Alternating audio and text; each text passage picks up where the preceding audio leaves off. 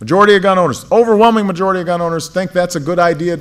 So if we've got lobbyists in Washington claiming to speak for gun owners, saying something different, we need to go to the source and reach out to people directly. We can't allow those filters to get in the way of common sense. And that's why I need everybody who's listening to keep the pressure on your member of Congress to do the right thing. Ask them if they support common sense reforms like requiring universal background checks or restoring the ban on military style assault weapons and high capacity magazines. Tell them there's no legislation to eliminate all guns. There's no legislation being proposed to subvert the Second Amendment. Tell them specifically what we're talking about.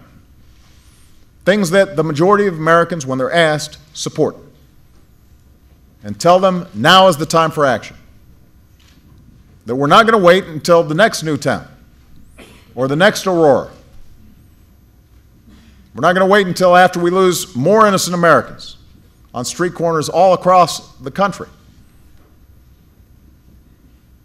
Not going to wait until somebody else's father or son are murdered.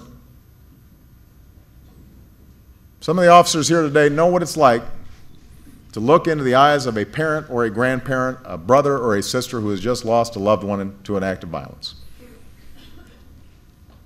To see the, the pain and the heartbreak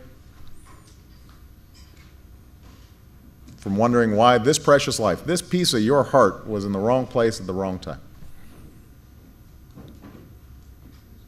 It changes you. You're not the same afterwards.